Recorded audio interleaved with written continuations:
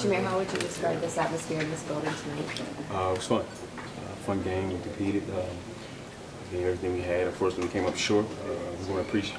Say we appreciate the fans and thank them for coming out and um, supporting us. Uh, it was, uh, like I said, it was something that um, uh, we needed, especially for the young guys to go through something like what they went through in terms of the atmosphere. Uh, it was good. You've got Oklahoma City coming up in just a few days. What do you take away from tonight and focus on working on over the next few uh, days? Oh, it's a different type of team, um, but but the effort that we put out over the last few games, um, hopefully, we can carry on to that game in Oklahoma City, and we can um, go out and um, you know try to get a win. Mayor, how much You of, guys- go ahead, I think you guys were up 57, 56 midway in the third quarter. Were you feeling good about the position? You had a, you had a good offensive rhythm going. Yeah, we were, we were doing pretty well on both ends of the court. We were getting stops and, um, you know, getting good looks, whether they went in or, or they didn't. Um, you know, you can't, you can't control that sometimes, but as long as we got good looks and stops, uh, you know, I think um, as a player and, you know, Jacque as a coach, you know, you have to be satisfied with that. Mayor, how good is it to be able to put the, the circus of this atmosphere behind you? I mean, the circus that you guys created wasn't a circus for me. Uh, it was, you know, like I said tonight, it was fun.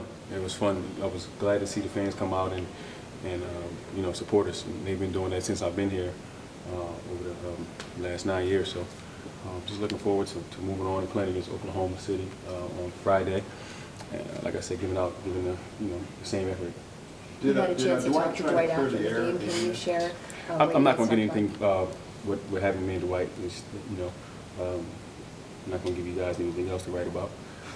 Uh, you guys can speculate like we've been doing and uh, come up with some stories. But uh, you know, one thing is, um, like I said, you know, I wish him the best, no matter where he is and what he's doing. Um, you know, we came in the league together, and, and um, you know, I have no bad blood. Nick Anderson shared some words of encouragement with you there at the end. Did, uh, can you share that with us? No, I'm not going to share anything personal.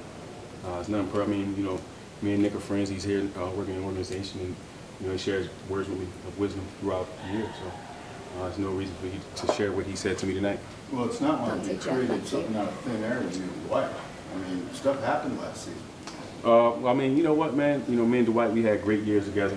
Uh, we had fun together, and you guys can take what, I say or what he say and, and kind of make your own stories. Um, know, I'm not, I'm not going to say anything bad about any one of my former teammates or my current teammates because I have nothing bad to say about them. Um, you know, my job is to go out there and play, no matter who's on the court with me, and you know, no matter where I'm at. Um, you know, I get paid to play, and I, and I love playing. It seems like you were able to find some soft spots when you were going up against Dwight in the lane. Is that something maybe you learned in practicing against him for so many years? But you blew by him four or five times. Well, I I know, you know, him as a defender, he, he's um, obviously very great at that, defending, pick and rolls and, you know, shot blocking. Um, I just think, you know, when you have a big guy, no matter who it is, you just stay in attack mode and, and something good will happen for you.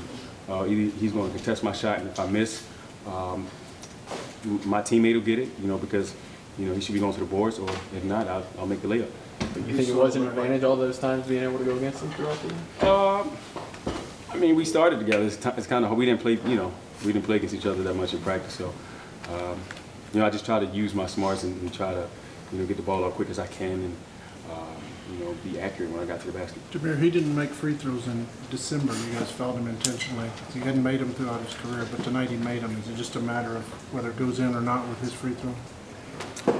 I guess, um, you know, he made them tonight. So, I, I'm, you know, I can't go back and look on things uh, in the past, and you know, I'm just in the moment right now. You know, he made what 25 tonight uh, out of what, 39. Yeah, so um, he stepped up and knocked him down when his team needed him to. Thank you. Thank you.